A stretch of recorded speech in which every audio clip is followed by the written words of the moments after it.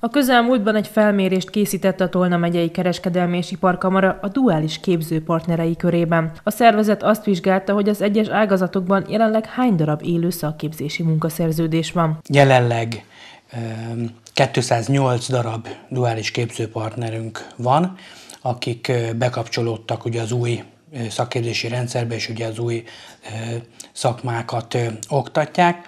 Ez a szám azonban folyamatosan bővül, és azt látom, és illetve azt látjuk, hogy, hogy nagyjából az idei év végére mindenféleképpen el fogjuk érni, sőt meg fogjuk haladni azt a azt a számot, vagy azt a, mm, az értéket, ami a tanulószerződéses érában a gyakorlati képzőhelyeket jelentette. A szakember szerint ez több mint 250 gazdálkodót fog jelenteni. Hozzátette, hogy a jelenlegi adatok szerint eddig 703 tanuló kötött szakképzési munkaszerződést. Ez a szám azonban nem teljes, ugyanis ebben nem szerepelnek azon vállalkozások, amelyek a saját dolgozóikat képzik tovább, szintén a duális rendszerben hát olyan 300-as nagyságrendű, ami felnőttképzési jogviszonyhoz kapcsolódik, és ebből nagyjából 160 az a szakképzési munkaszerződés szám, ami saját dolgozóra irányul.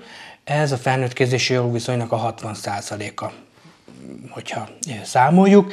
Ez, ez, a, ez a százalék ez, ez biztosan emelkedni fog, hiszen egyre több gazdálkodó látja az ebben rejlő lehetőségeket. Ugyanis mind szakmai és mind anyagi előnyökkel számolhatnak a cégek, hiszen egyrészt a munkáltató a meglévő dolgozóit képezheti tovább, másrészt a szakképzési törvény értelmében jelentős adókedvezményre is jogosultak a vállalkozások és a tanulók egyaránt.